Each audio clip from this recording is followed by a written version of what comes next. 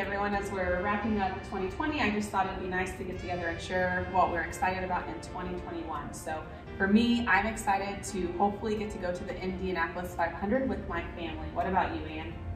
I'm excited to see my great nephew. I've not got to see him, so I'm excited to do that. I'm excited to hopefully go to church with a sanctuary full of people.